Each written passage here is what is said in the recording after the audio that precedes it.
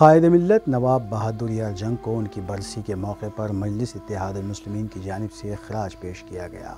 मंगल को दारुसलाम में महफिल कुरान ख़वानी व खसीद बुरदा शरीफ की महफिल मनद हुई। सदर मजलिस व रुकन पार्लिमान हैदराबाद बैरिस्टर असदुद्दीन ओवैसी की क़्यादत में मजलिस के वफद ने मिर्ज़ा कायद मिलत दायर बंदगी मियाँ हज़रत शाह कासिम मुश्तहिद गिरोह मुशीराबाद पहुँच कर चादर गुल चढ़ाई और फातह ख़वानी की। वाजह है कि नवाब बहादुर यार जंग जदोजहद के नाम नामवर रहनुमा नवाब बहादुर यार जंग का असली नाम मोहम्मद बहादुर खां था और वो तीन फरवरी 1905 ईस्वी को हैदराबाद दकन के बेगम बाज़ार में पैदा हुए थे।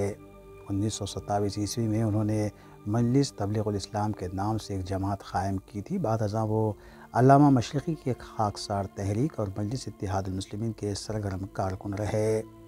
ऑल इंडिया मुस्लिम लीग के अहम रहनुमाओं में भी वो शामिल थे और मोहम्मद अली जिन्ना के करीबी रफ़ा में शुमार भी होते थे और महात्मा गांधी के साथ उनकी बड़ी गुरबत थी। मार्च 1940 ईस्वी में ऑल इंडिया मुस्लिम लीग के जिस इजलास में करारदाद पाकिस्तान मंजूर हुई, उसमें आपने बड़ी मारा का आरा तकरीर की थी। Nawab Bahadur Yar All India States Muslim League के बानी और सदर भी थे। बहादुर जंग एक सच्चे आशिक रसूल, कुरान के मुफसर नादगो शायर भी थे। बहादुर आज़म मुसलमानों को मुतहद करने के लिए भारत के मुख्तलिफ़ इलाक़ों में जल से मुनद करते थे। आन जहान सरोनी नायडो बहादुर आज़म को अपना बेटा कहा करती थी। आपको क़ायद मिलत और लसान उम्मत के खिताबात से भी नवाजा गया था। जंग एक अजीम मुखर थे। अगर हिंदुस्तान की आज़ादी में भी उनका बड़ा अहम रोल रहा है, आप जानते हैं कि मोहम्मद अली जीना को उर्दू नहीं आती थी।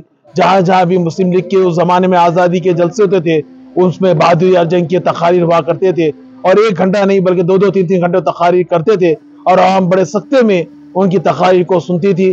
फिर आपने कुरान की तफसीर भी बयान की, जो बेगम बाज़ार में मस्जिद है, वहाँ रोज़ फजर में बहादुर जंग कुरान की तफसीर बयान करते करते थे। इसी तरह से मैंने कहा कि करीब उनचास हज़ार, उनचालीस हज़ार थर्टी नाइन थाउज़ेंड लोगों को उन्होंने इस्लाम की दावत दी और उन्होंने इस्लाम कबूल किया। वाक़ है जैसा बहादुर रहमत के दो भांजों का कत्ल कर दिया गया था और पूरी आवाम उस जमाने में बदला लेने के लिए उकसाई हुई थी और जोश और जज्बे में थे। बेगम बाज़ार में हज़ारों की पब्लिक जमा हो गई थी और उस वक्त बहादुर जंग की जबाबंदी थी।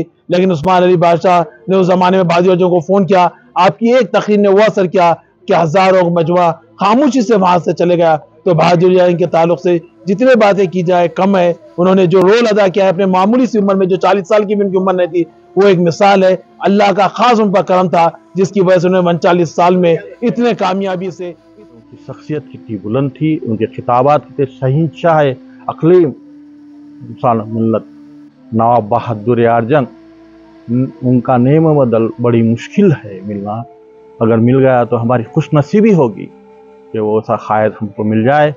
आमन तो मुसलिमीन को एक जगह लेकर सारी इस्लामीत का उनको दिल में वो जज्बा था, वो पूरे मुसलमानों को एक जगह करना चाहते थे। 25 जून उन्नीस सौ चवालीस ईस्वी में नवाब बहादुर यार जंग हैदराबाद दक्कन में वफात पा गए। उस वक्त उनकी उम्र उनचालीस बरस थी।